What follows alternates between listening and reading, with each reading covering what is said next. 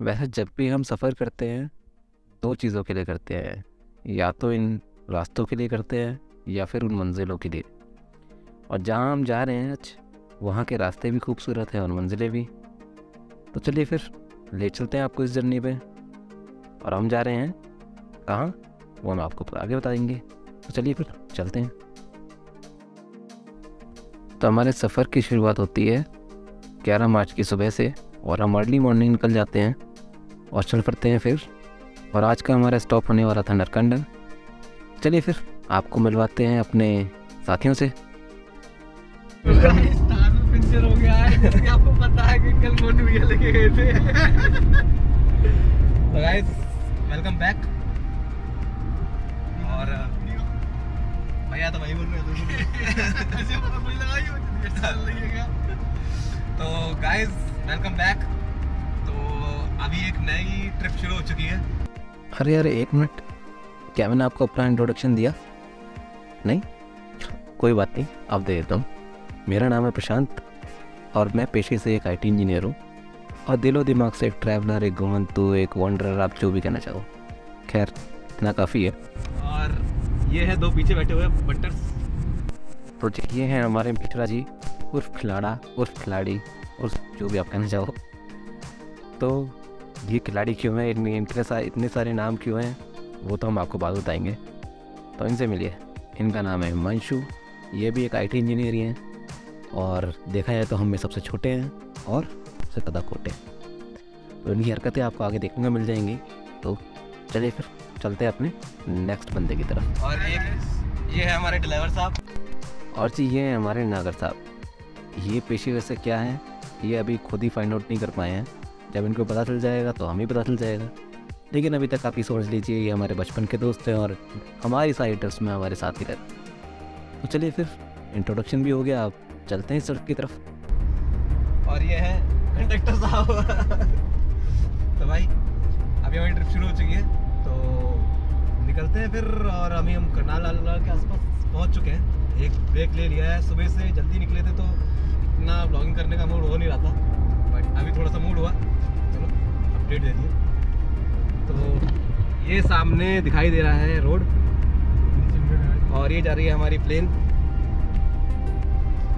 Take off कर चुका है। चलिए फिर मिलते हैं चंडीगढ़ में।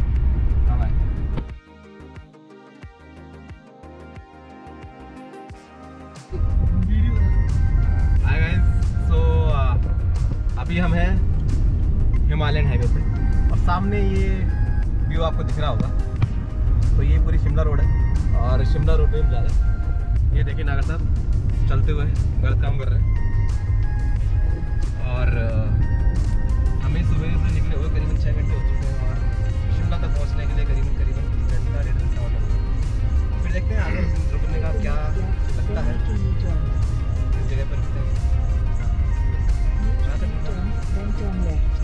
वैसे ना रास्तों की यही खूबी है कि जब साथ में दोस्त हो तो रास्तों का पता नहीं चलता। तो इसी तरीके से हमने शिमला भी पार किया और इसी के साथ हम पहुँच गए नरकंडा। तो नरकंडा हम शाम को छः बजे पहुँचे थे तो ये देखिए थोड़ा सा अंधेरा ही हो चुका था छः बजे के बाद। तो थोड़ी छोटी छोटी जो लाइटें दिखाई दे रही हैं, वो आपको जो सिटी है, नरकंडा की, नरकंडा के आगे बेसिकली छोटे छोटे घर हैं, वो आपको दिखाई दे रहे होंगे। तो चलो, अब हम सोते हैं और मिलते हैं आपसे। कल सुबह। सो गाइज़ गुड मॉर्निंग और good morning from Hatu and Narkanda so basically हम रात को हम नारकंडा आ गए थे। तो अर्ली मॉर्निंग हम निकले हैं हाटू पिक की तरफ़ और वहीं पे है हाटू मंदिर। तो ये जो रास्ता है, यही जाता है। ये आपको देखने से थोड़ा स्कैरी लग रहा होगा। इतना भी स्कैरी नहीं है बट थोड़ा सा स्टीप है। और आई थिंक हम एक लौते बंदे हैं। नहीं एक लौते तो नहीं, हम चार बंदे हैं। हम चार बंदे हैं। जो इस रास्ते पे दिखाई दे रहे हैं और जा रहे हैं। सो चलिए फिर चलते हैं और आपको दिखाते हैं आसपास का ये है वातावरण। बाकी आपको थोड़ा सा बाहर से दिखाते हैं।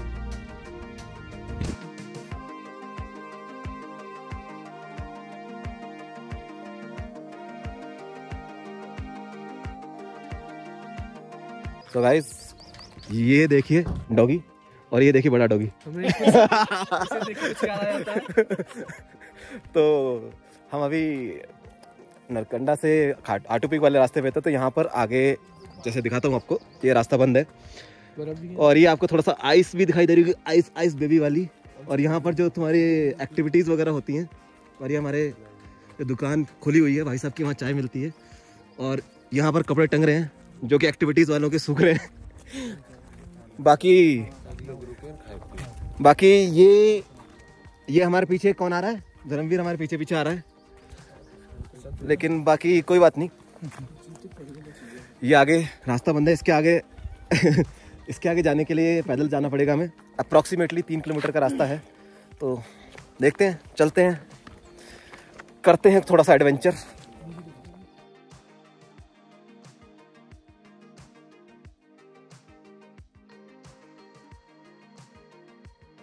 वैसे भी अभी सिर्फ़ 500 मीटर आए हैं और एल ए डब्ल्यू लग चुके हैं हमारे। तो चलिए थोड़ा सा आगे जाके मिलते हैं। बर्फ़ देख लो गाइस ये रही गाइस और ये जो गंदा काम करके गया है कोई भी ये ये वाला गंदा काम। जो बॉटल पड़ी है। ऐसे गंदा काम ना करिए कभी भी। वैसे यहाँ तक गाड़ी आ सकती थी लेकिन उन लोगों ने पता है तुम्हें यहाँ पर लोग चलाते हैं अपनी रास्ता बंद कर रखा था ताकि लोग यहाँ तक आना पाए गाड़ी लेके। उनका टी स्टॉल। उनका टी स्टॉल वगैरह चलता रहे। तो इस चक्कर में वैसे गाड़ी यहाँ तक आ सकती थी क्योंकि यहीं से थोड़ी स्नो है। वैसे तो गाड़ी यहाँ से भी जा सकती है। हो सकता है इसके आगे थोड़ा स्नो यहाँ भी अपनी गाड़ी चली जाती है बट कुछ भी कह लो। एक किलोमीटर चले। लॉ लग गई है। तो चलिए आगे मिलते हैं थोड़ा सा। सो मोमेंट ऑफ़ ट्रुथ तो ये है। वो व्यू जिसके लिए हमने इतनी देर से ट्रैकिंग करी थी वो सामने हाटू पीक के लिए है। वहाँ से इस पहाड़ के उधर का भी उधर उस साइड का भी व्यू होगा और इस साइड का तो है ही। सन अपना ऊपर आ चुका है। ये है मंदिर। सांस बहुत चढ़ चुकी है। तो थोड़ी देर ब्रेक लेके देखते हैं। तो ये पीछे की तरफ़ हाटू टेंपल हाटू। और ये अभी बंद है अनफॉर्चुनेटली तो हमने बाहर से मत्था टेक लिया है। और वैसे माता जी का टेंपल है। और यहाँ पर कोई है भी नहीं जिससे कि मैं इसके बारे में इसकी जो महत्वता है मैं पूछ सकूँ। सो so, देखते हैं। वैसे आप लोगों को अगर पता हो तो कमेंट में बताइएगा ज़रूर कि इसके पीछे का जो हिस्ट्री है इस मंदिर की क्या है। वो अभी मुझे नहीं पता। मैं क्योंकि मैंने सर्च भी नहीं करा, मैं देख के भी नहीं आया। मैंने सोचा था क्योंकि मैं जनरली सर्च करने से ज़्यादा प्रीफर करता हूँ कि मैं वहाँ पर जो लोकल हैं, उनसे पूछूँ। और वैसे कुछ लोकल्स हमें नीचे की तरफ़ मिले थे, मैं उनसे पूछता हूँ। उनकी शॉप थी एक तो उनसे पता करता हूँ कि जो ये मंदिर है, इसकी महत्वता क्या है। बाकी बाहर का और आपको मैं दिखाई दूँगा। चलते हैं फिर, थोड़ा सा एंजॉय करते हैं और आपसे मिलते हैं थोड़ी देर बाद।